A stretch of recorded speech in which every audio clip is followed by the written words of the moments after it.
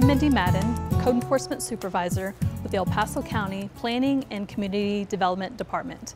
The purpose of this video is to give you an overview of our code enforcement program, as well as introduce a new feature of the EDARP program that allows citizens to electronically submit a complaint online.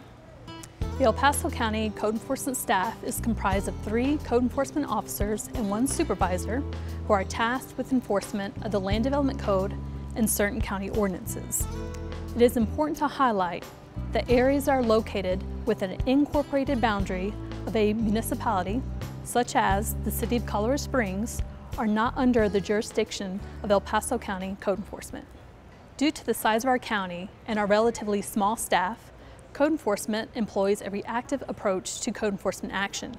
In other words, we respond when a complaint of alleged zoning or code violation is received. A new feature of the county's EDARP program now allows citizens to easily submit a code enforcement complaint online. Use of the EDARP program is now the most effective way to submit a complaint to El Paso County Code Enforcement. To submit a complaint to code enforcement from the EDARP homepage, click on Submit Code Enforcement Complaint found on the bottom right-hand side of the screen. To submit a complaint, a valid address or parcel number for the property in violation is required. If a citizen is reporting violations for multiple properties, a separate complaint must be submitted for each property. If an address for a property that is not located within unincorporated El Paso County is entered, an error will appear. The error will provide contact information for the proper jurisdiction and the complaint will not be accepted. After the property address is entered, the type of violation must be identified. Checkboxes are provided for the most common Ordinance and Land Development Code violations. At least one box must be checked and a description of the violation entered. The description may include specifics of the violation or the location of the violation, such as trash in the backyard, for example.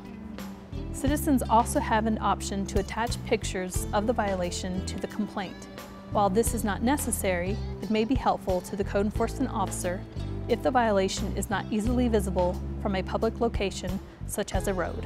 When submitting a complaint, citizens may choose to remain anonymous or to provide their contact information. Please note that any information provided on the complaint form is subject to Colorado Open Records Act. Once the property address, violation information, and contact information is entered, click on Save and Continue. The next screen will give citizens the option to upload pictures and review the complaint. If the information on the screen is correct, click on Submit. Once a complaint is submitted, it is assigned to a code enforcement officer. The assigned officer will review the complaint and typically visit the property within 7 to 10 business days. Citizens can check the status of their complaint by visiting the EDARP homepage.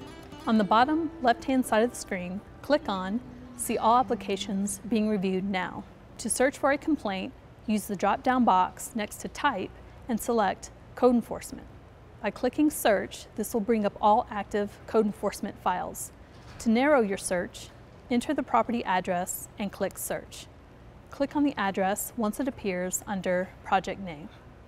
This screen shows the status of the complaint as well as the assigned code enforcement officer and the officer's contact information.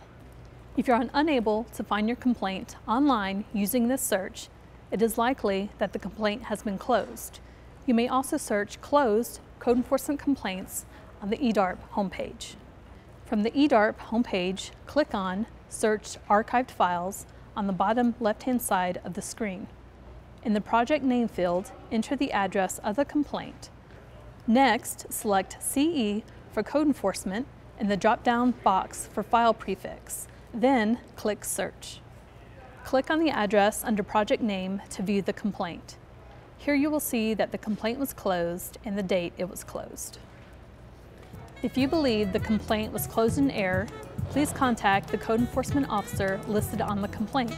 If the violation was corrected but has since returned, please submit a new complaint using the steps outlined previously in this video. I hope you find EDARP a fast and easy way to submit a code enforcement complaint online. As always, you may contact us at 520-6300 with any questions.